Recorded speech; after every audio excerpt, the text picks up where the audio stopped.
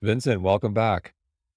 It's great to be back. It's been how long has it been since the last time? It's been a minute. It's been a minute. You know, there's some days where I think time flies and other days where I think time stands still, but that's what that's the world we live in these days. I feel like I've blinked and 2 years just went by.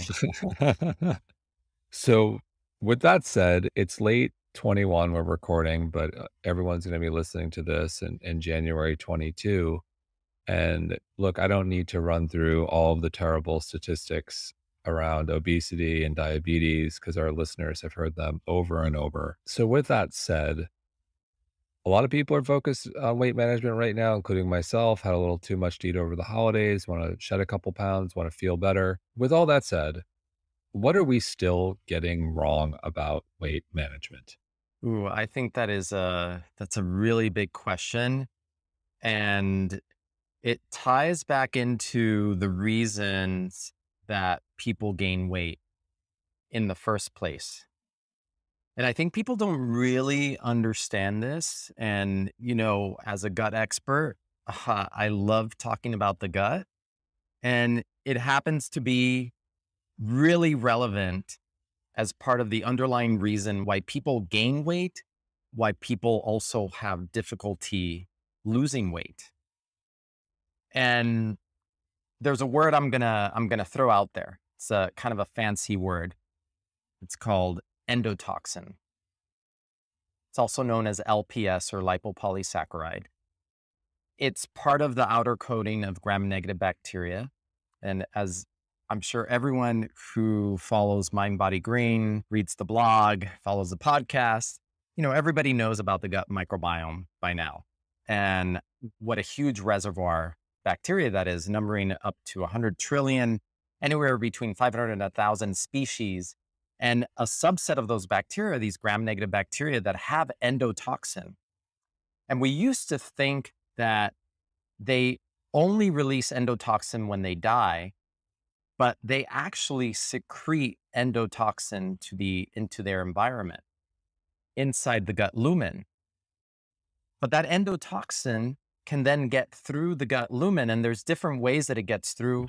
If you tend to eat a lot of fatty meals, there's certain types of fats that are going to allow endotoxin to um, come into the body more e- easily. If you just think about the name lipopolysaccharide, it's a part lipid molecule, so it's going to be fat soluble. And that makes it easy for it to move through membranes. But then if you have leaky gut on top of it, then you're going to have more endotoxemia. So I just threw out another fancy word. And that what that means is you've got a lot of endotoxin, the floodgates are open, and you've got a lot of endotoxin coming into the body. And this is something that in, in studies they can measure endotoxin levels.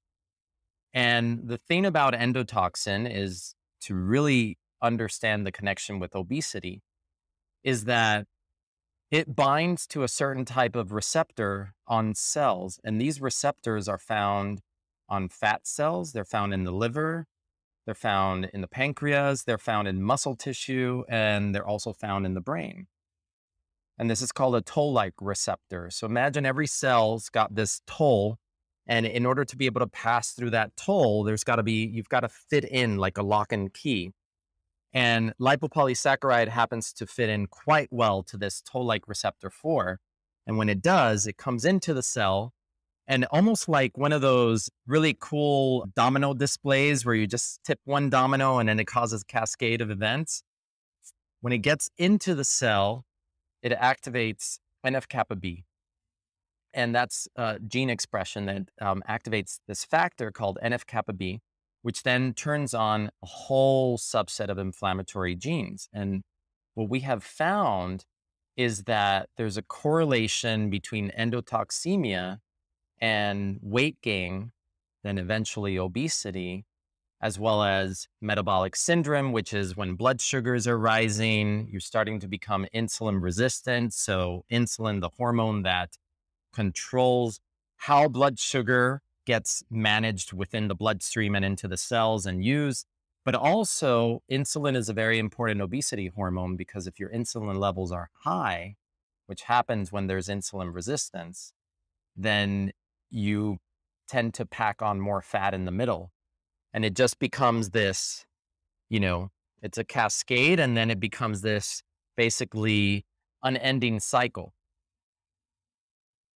So that is the that is a very important piece of the puzzle that a lot of people don't talk about is the gut obesity connection that ties in through leaky gut, through endotoxemia from endotoxin, gram negative bacteria in the gut. And we all have these bacteria. So it's a matter of how good is that interface at keeping that stuff out, not letting it get through, because then it's going to come into your body and it's going to scramble your hormones. It's going to increase inflammation signals. It does a whole bunch of other things. So in the brain, it uh, increases inflammation in the hypothalamus, which then causes mood disorders. So depression. And when you have something like depression, then think what do depressed people do? They eat more comfort foods. You know, so then it becomes the the gut the brain connection as well. And I think all of these factors then tie into why it is that healing the gut is the key missing element in a lot of programs out there that manage weight gain and obesity because it really comes down to if you want sustained weight loss, you really need to look at the gut microbiome, the gut lining, and work on reversing leaky guts. You can lower endotoxemia, lower insulin resistance, and all of that, as we're learning, is coming from the gut microbiome and that interaction that happens through that interface, the gut lining. I, I love that we're talking about this because you tend to hear around this time of year, all right, you know, you got to exercise more, you got to eat less, you got to do this, you got to do that. But the reality is, there are external or actually internal factors that are contributing to our ability to shed unwanted weight. And so, with that said, in terms of, you know, endotoxemia, h- how do we avoid endotoxins and or and and shield against endotoxins? And then how do we know if we have endotoxemia? Yeah, these are great questions. There are certain labs that can actually check for anti-lipopolysaccharide antibodies, so anti-endotoxin. These are specialty labs that do this. If I can mention some, like Cyrex or Vibrant America Labs. Uh, they can run these tests. You can also check for anti-zonulin antibodies and anti-vinculin. So you can check for antibodies to cytoskeletal proteins that are the structural proteins that hold together the, the cells that line the gut. And the idea is that when you see these antibodies, that there is too much of this getting through. So the body is actually creating an immune reaction. In studies, you can actually measure endotoxin directly. I found it much harder to, to do with commercial labs because you really have to time it. Endotoxin is going to go up and it's going to uh, go down. So you have to catch it really fast after a meal. Depending on the type of meals that people eat, if it's a really fatty meal with unhealthy fats, that's going to push more endotoxin through. So if you're you know, and I don't want to vilify fat because I don't want someone to listen to this and then say, well, oh, I don't want endotoxemia. I'm going to eat less fat. But we know that fat doesn't make us fat. What makes us fat are excessive carbohydrate, refined carbs, excess sugar. And again, the gut obesity connection, which has to do with the gut lining, but can also have to do with eating foods that one is sensitive to meaning that you have an immune reaction to these foods. And whenever you're sensitive to a food, what's going to happen is that food, when it comes into your system, it's going to gen- generate an immune reaction. It's also going to draw in more water. So it's going to cause water retention. And everybody knows when, if you carry a, a gallon of water, eh, it's really heavy. So just a little bit extra water in the body is going to make your you feel more weighty. It can make the joints feel tighter. It can make you feel kind of kind of achy kind of stiff. Look we we've talked all sorts of different diet protocols here whether it's anti-inflammatory diet or you know eh, our friend dr gundry has his lectin free diet which is you know we won't go there is there such a thing as an endotoxin free diet? If, if this is something that you're listening you're like you know what? Whatever i'm doing it's not working. You've got to think about this. There there are certain fats that are not going to cause as much endotoxemia as others for example like olive oil. And everybody knows the mediterranean diet one of the healthiest diets in the world. By the way which also has lectins in it so I wrote a whole series in my blog, um, happygutlife.com, that I called the lectin paradox. Is a little and basically what I found is it's not as clear cut and dry as Dr. Gundry might say. And I called it a paradox because the lectins actually might be a red herring. And through my research, what I found is that it's really more a gut lining issue and a gut microbiome issue that's causing us to look at the red herring, which is the lectins. And yeah, there could be more issues with lectins, but I think there's a whole missed part. And I know Dr. Gundry is now getting into the gut health and yes. gut microbiome stuff. So I think he's catching on to that. 100% agreed. You're talking to a guy who eats beans probably twice a week. Look, people in the blue zones eat lectin rich foods and they live to 100 plus. So I think we've got to think about, you know, rethink this lectin thing. There's more to it you know, because it worries me that we might tell people to not eat foods that we know have incredible benefits for the gut microbiome as well as our health. 100% agreed. You know, just anecdotally, and we'll move on from our, from our old friend, Dr. Gundry. The one thing I have heard is people who've had, you know, autoimmune issues and haven't been able to make progress, they incorporate the lectin free diet and it works for them. So I think, I think in certain circumstances yeah. it works, but I think for most people, it's like, I, I love my beans. And you have to, in the, in those cases with autoimmune disease, there have been some question marks about how lectins might get absorbed and tagged to cells and kind of flag them for the immune system. So then lectins might be the avenue by which autoimmune disease can start. But as we know from the work of Dr. Alessio Fasano at Harvard, there are three factors that lead to autoimmunity. One is an environmental trigger, right? The other one is genetic predisposition. And so the environmental trigger, by the way, um, for Dr. Fasano was wheat, gluten, for example, exposure to wheat gluten, which uh, in some ways looks like the surface of, of a bacteria, its epitopes. So we've got that. It could be antibiotics also exposure to antibiotics and as an environmental factor. So then we've got genetic predisposition, but then you need one third factor, and that's leaky gut. So if you have those three, then your chances of developing autoimmunity increase by a lot. It's a simplification, but I think it's also really interesting model to really to understand that just because you might have autoimmunity in your family it doesn't mean that you're going to develop an autoimmune disease. You're not sentenced to it. And that was part of actually what motivated me to do the work that I got into in functional medicine and all, because my older sister has an autoimmune disease, multiple sclerosis. And my mom had uh, seronegative uh, rheumatoid arthritis. So, rheumatoid arthritis without any blood markers, but it was obvious towards the end of her life that she had actually developed rheumatoid arthritis. And I looked at that and I thought, okay, what can I do? You know, I'm in my early to mid 30s.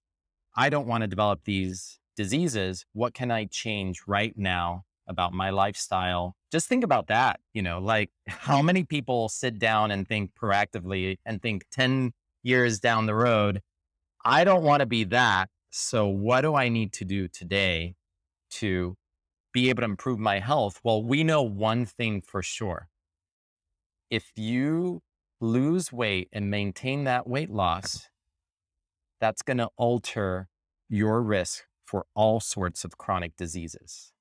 You know, so it's such a great time. I, I mean, I always think like how interesting that we have these demarcations that are really just, we've just created these markers, you know, like it's the January 1st is a new year. And that's when everybody's thinking about like weight loss and cleansing, but it's just the way it is. And I think as humans, we need things that motivate us. And there's a beauty to the arrival of a baby. And I think there's also the beauty to the arrival of a new year that allows you to reevaluate how it is that you lived the previous year and what is it that you want to change or even just improve upon in the coming year. Building off of that, in terms of food, in terms of diet, you know, I, I think it's safe to say that all our, our, listeners are a healthy bunch. They're a smart bunch. They're, they're probably doing a lot of things right, if not all things right. I love our listeners. With that said, are there some unsuspecting foods that you know we might be enjoying and consuming in large quantities because we all think they're healthy we think they're good for our gut but and weight management but in reality you know maybe not so good yeah, and the answer to that question can uh, actually be dependent on underlying conditions. You know, so a healthy diet is healthy until things go awry with the gut. And then that healthy diet is no longer healthy, as I've seen over many years, taking care of, you know, like women who came in eating an all raw diet, all cold foods they feel sick to their stomach all the time. They're not digesting their food properly. So even a salad could not be so good for a person who doesn't have adequate stomach acid, who's not producing enough digestive enzymes. They will have difficulty breaking down protein. But even foods like fermented foods are not right for everyone. Someone who has candida overgrowth, it might be too much of a shock to the system to introduce too many fermented foods at once because they can cause die off. And I've seen that with patients where they can only tolerate like a quarter of a teaspoon of kraut juice to start off with once or every other day. And you think about it, it's really small amount, but you know, bacteria are concentrated. Even one quarter teaspoon can have hundreds of thousands of bacteria. So even fermented foods for people who have underlying gut issues like candida, uh, small intestinal bacterial overgrowth might make them feel bloated, heavy, uncomfortable, cause abdominal pain. Same thing for people with mast cell activation, people who have histamine issues because of gut issues. They can have trouble with foods like a chicken bone broth, which is also very high in histamine and you would think is healthy, but in someone with mast cell uh, activation or with uh, histamine issues is going to have trouble with that. I know there's a lot of obvious ones like gluten and dairy, things like that. What a lot of people might not realize is that if you react to gluten, there's a very high likelihood that you might cross react with corn. And I, think your listeners are very educated, but you know, for those who might not remember, corn and wheat are cousins. You know, they're like family members. So if you react to one, it could be possible you don't react as strongly to the other one. As I recently learned, because I decided, you know, to do the wheat zoomer and the corn zoomer by Vibrant America Labs to just check I already know that I'm gluten sensitive and I don't have gluten, but it was interesting to see, even after years of being primarily gluten free, that I still had antibodies to wheat proteins. And I was curious because I had an inkling. I love Mexican food. And, you know, when you go for Mexican, you can't eat gluten. At least you think, well, I can have a corn tortilla. Like it's like Christmas for me when I can have a corn tortilla. And the corn zoomer, I came up positive for at least one of the corn proteins. So, and I already suspected it that I knew I could tolerate some corn, but there is a threshold. And and that's a thing with some of these foods that you might be reactive to a food, maybe the reaction is not so strong. And you already intuitively might think, you know, if you're asking the question, and I think this is important for people to think about, being very, you know, being more intuitive about listening to their body reactions. If you're asking the question and you're having some doubt in your head, you probably are having some level of reaction to the food. And the question is, you know, maybe you can tolerate a, a, threshold amount. Like maybe you can just have a couple and you're okay. But if you go beyond that threshold, you're not okay. And then that's going to activate your immune system and that's going to cause weight gain. It's going to cause water retention, etc. You know, I'm glad you mentioned that. You know, f for me, I'm not necessarily sensitive to to gluten and corn, but my view on those is similar to, you know, sugar, al although I I I would say when I'm gonna do it, I'm gonna enjoy it, I'm gonna make it count, I'm gonna make sure it's the best damn piece of bread, it's a great sourdough. You know, for corn, I don't have a lot of it. I'll I'll give a shout out to my friends who have a a restaurant called Los Felix in in Coconut Grove. They do heirloom corn, it's amazing. So it's like, if I'm gonna do the if I'm gonna do it, I'm gonna make it count, it's gonna be the best Yeah. damn thing. If I'm gonna have sugar, it's gonna be an amazing donut from Doughnut Plant here in New York. Like, I just that that's sort of my attitude. If you're gonna do it, you shouldn't have those things every day, but if you're gonna do it, make it count and enjoy it. I think that's a really important message as we, you know, we enter diet and cleansing season because people can go into deprivation mode. And I think if you give yourself permission to, like, if you're going to really do it with class and really enjoy it, so you demarcate those moments. And I think the more you can do that, the more you can actually say no to the non elegant moments when it's not going to be so great, because then you're choosing your health over, you know, that brief, you know, transient pleasure that one gets, the dopamine hit from having sugar or whatever it is, comfort. And so, you know, you brought up foods that might not be working, and and look, I've mentioned this before on the show, but I'll mention it again, you know, in that bucket of foods that may not work for you, I I think our listeners get this, but, you know, again, I'm gonna repeat it, and you had a great tweet on this. The fake meat, the fake burgers, I I think they're fun. I think they're good options for people who have se severe cardiovascular issues and and can't eat red meat, and it's okay to have them once in a while, but they're not healthy, and you had a Mhm. great tweet about what's your take on fake meat and the gut? Not so good. No, I think there's many layers to that. One, a lot of these fake meats are stuffed with additives, corn derivatives like maltodextrin, things that are just not so healthy for us. You know, they may be gluten free. That doesn't mean that they're healthy for us. And I I certainly don't think that they're good for the environment either, which I think is really I know it's a much bigger conversation, but I do believe that that as much as we we care for our health, we have to be stewards of the environment and thinking about what's coming in because what we harbor inside of us is a reflection of that external environment.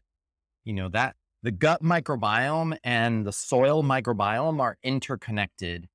And when you might be including ingredients in these, you know, frankenfoods that are possibly genetically modified versions of corn that are being raised on fields that are just being doused with glyphosate, which is not good for the environment and actually increases nitrogen in the soil and and carbon dioxide and actually methane gas, which is even worse. You know, I think from the bigger picture, if someone, if you're choosing to eat vegetarian for many reasons, for animal rights and also for the environment, eating these vegetarian meat substitutes is actually not helping the environment, you know, and it's not helping your gut Yep. either. I think the most important message and what I've found with working with people over the years have done the, the Happy Gut Reboot 28 day cleanse is that we, the closer we eat to the way that nature made a food, the healthier we are, the healthier we become. Amen. Amen. And that is across the board. So when you're starting to make things that have got like multiple ingredients and yeah, I mean, it might taste good. It might have the texture of meat, whatever it is, but it's just not going to be as healthy for us. Amen. So, intermittent fasting is something that works for so many people in terms of, you know, blood sugar, in terms of managing weight, just it works for a lot of people. It helps them feel great. It works for me. But there's also a lot of people where it just doesn't work for them. And that's the beauty of what we do. There's no one size fits all approach. But if you had to if you had to give some suggestions to those people listening where intermittent fasting just really doesn't work and they kind of need to eat breakfast to feel good, what breakfast do you recommend for someone who wants to focus on, you know, healthy weight support? That's a great question. So, this is one thing that I've found. So, we talked about endotoxin and its relation to weight gain. The other thing that I've found through the work that I've done with patients is that the one thing that's going to get in the way of weight loss or cause weight loss resistance or that dreaded weight loss plateau that a lot of people hit is sluggish detoxification. So if your body cannot detox properly, then you're just not going to shed the pounds. So being able to support phase one and phase two liver detoxification, which is one pillar of detoxification, the liver, but there are three pillars I think that are important. There's more, but I like to call it, think of the three pillars because they're all in the gut arena the liver, the gut, and the gut microbiome. So supporting those three um, pillars of detoxification with a functional food, and that's part of what I created with Happy Gut is the cleanse shake, which is basically a gentle detoxer that supports liver detoxification, uh, gut detoxification, is a great for for me making a smoothie when I'm in a rush is a great breakfast substitute because I can pack a lot of nutrition into that smoothie. So not just using a functional food powder, protein powder, but also throwing in blueberries. I'll throw in some greens. I'll put in some hemp seeds. You know, another day I'll put in some pecans or macadamia nuts. So every day you can mix it up. And for someone who can't miss breakfast, well, then make breakfast a superfood for you. And I think one of the best ways to do that is by just substituting breakfast with a smoothie. And even if you can't do intermittent fasting, like you can't do those 14, 16 hours, 20 hours, like Dr. Fung uh, does for, for people with insulin resistance. And like you said, it's personalized. Not everybody, it's not good for everyone. And there's actually differences between men and women. Women shouldn't be doing long fasts, it's just not good for their hormones. But everyone pretty much can do a 12 hour fast. And if you can have a well rounded dinner plate with protein, fat, complex carbohydrates, vegetables, salad that fills you up, you finish eating dinner by 7:30 and then don't eat anything after dinner until the next day. That overnight fast is really important for balancing blood sugar. So to, to build off of you know what, what you mentioned about your smoothie what, what's a day in the life for you you know if you could walk us through like what do you have if you are having breakfast you know, what's in your Yeah. breakfast what's in your lunch and what's in your dinner if you could briefly walk us through that would be great Yeah, my my typical day is either working from home or getting up and 2 days a week I I rush out and and go to the office in Midtown. And depending on how much time I have the day, I have 2 kind of main alternating breakfasts and then sometimes I'll circle in some other things. But one is a smoothie and it might be with my Happy Gut Cleanse Shake powder if I want more of a cleansing effect, or it might be with my, it might, it, I rotate different hypoallergenic proteins. So I might use the Nature MD brand Nutri Protein, which is a brand that I work with.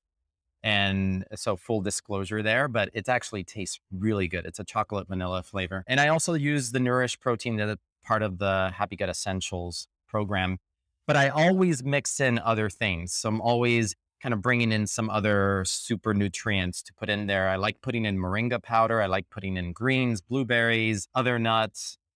And that's one breakfast that I might have um, uh, if I'm got to head out the door quickly.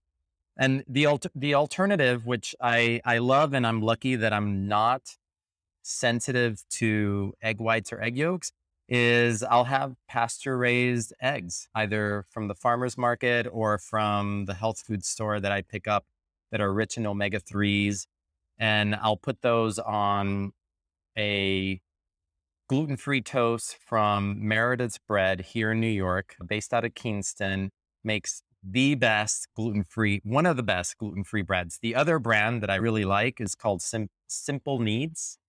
And we can find them here in Whole Foods. I don't think they're all over the country, but both of those brands, like Simple Kneads makes pumpernickel, which it was, I don't know about you, but that was my all time favorite growing up. And I was so, if, if there was one bread that I was sad that I couldn't eat because of being gluten free, it was pumpernickel. So when I discovered that they make a fermented pumpernickel, I was just overboard, so happy. So it would be a toasted gluten free bread, maybe with some coconut oil, with an, a sunny side up egg with the egg yolk runny. And I'll also put avocado on that. And that's my alternate breakfast when I need something a little more substantial. And not every day do you want to drink a smoothie. Lunch is going to be pretty low carb, high vegetable, maybe some protein with it. And dinner is usually me cooking at home and it's got a variety of things. I tend to I tend to make a good amount of carbs because I have a 17 year old boy who plays volleyball and he's six foot five and he's trying to gain weight and put on muscle. So he's got a very high metabolism. So there's always some carb put in there, but there's always a salad. There's always some sort of steamed vegetable and some humanely raised, grass fed, hormone free, pasture pastured protein that might be in there. So it sounds like you're pretty close to like 70 to 80% plant based. Yeah, I would say so. Yeah. Yeah. It's hard to argue with that. Like, no matter where you want, I, have said this again so many times in the show, but it's kind of hard to argue with 70 to 80% plant based. Yeah, I think within there, there's a lot of different, you know, places where people lie in terms of their belief systems, and and also for me, like it's my individual approach. What I found works for my body, and I personally can't go full vegan. I I start not feeling well. Sure, I'm with you. Um, and having just the right choice of proteins, uh, just is the right amount that may, that just keeps my energy going. And I think that's really important for people. You know, one, like you said, you can't go wrong if you go more plant based. What whatever that percent is, as, as soon as it crosses fifty percent, you're just doing better for your body. Yep. Then reduce your sugar intake, reduce your intake of refined carbohydrates, and that's the one thing, you know, I was talking about weight loss resistance, hitting a weight loss plateau. And so I had what I called the Happy Gut mini cleanse. And last year during the pandemic, I had so much time to just think about things that I decided I wanted to redesign that program, make it something simpler, something quicker for people. So I went from 14 days to seven days. And I focused it on liver detoxification and basically detox support. And what really surprised me about it was when I started getting, you know, messages from people that I couldn't lose those last 10 pounds for the last two years. And I did the seven day detox and suddenly I just dropped the weight. And what that tells me is that, okay, we've got to think about the gut. We've got to think about endotoxin, about leaky gut. But you also have to think about how you're detoxing because if you're not detoxing properly, your body cannot shed that weight.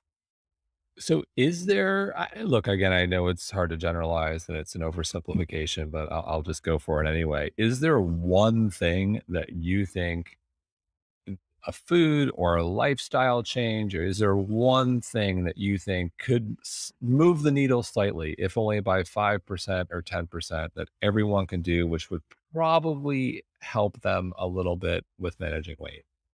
Yeah, I hear you. For everyone, it can be a, a little bit different. And it's different between a male and a female. As anyone knows, men can make a small change and they lose weight. Women make the same small change, depending on whether they're pre, post menopausal, nothing moves.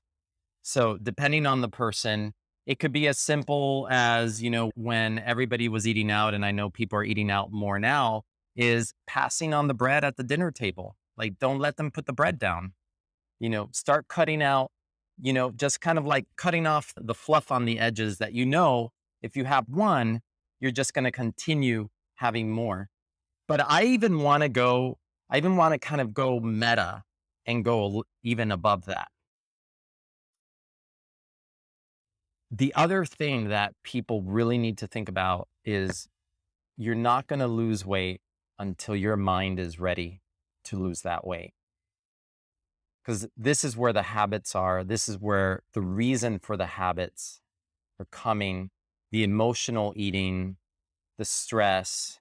So, really working on getting yourself more into the parasympathetic rest and digest state.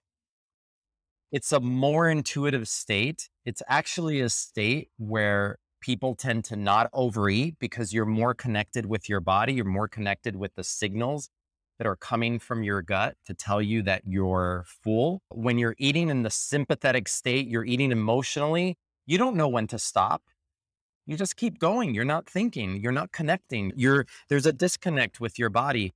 So I think mindset is really important before embarking on any type of program because it really should not be about dieting. It should be about choosing the lifestyle that is best for you. And that's why initially I created my 28 day program because it takes at least three weeks to change habits. And what I found when I led people through the program, and by the way, I'm going to be leading people on the cleanse this January again. When I led people on the program, at the end of it, they felt so much better that they would have to be insane to go back and start eating the way they used to. But they're able to they're able to make better choices once you're shown the potential for the transformation. You can really then embed those lifestyle changes. But if you're not ready here, if you don't think you deserve it, if you don't think that you're worthy enough, if you've got self hatred inside, if you've got a lot of negative thought patterns, you need to work on that first. You've got to change the mind to then change the body. I love it. It all comes down to mindset. Vincent, well said. Thank you so much.